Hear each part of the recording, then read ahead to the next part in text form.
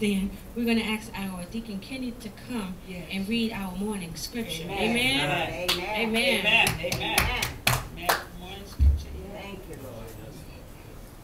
Thank you, Jesus. Good morning.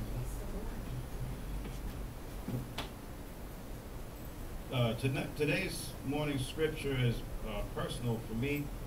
It's definitely from the heart. And we're going to be looking at Proverbs chapter 31.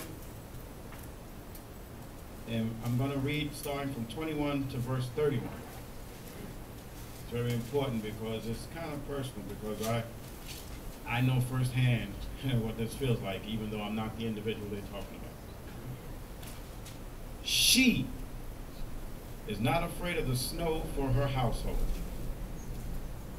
for all her household are clothed with scarlet. She maketh herself coverings of tapestry, her clothing is silk and purple. Her husband is known in the gates when he sitteth among the elders of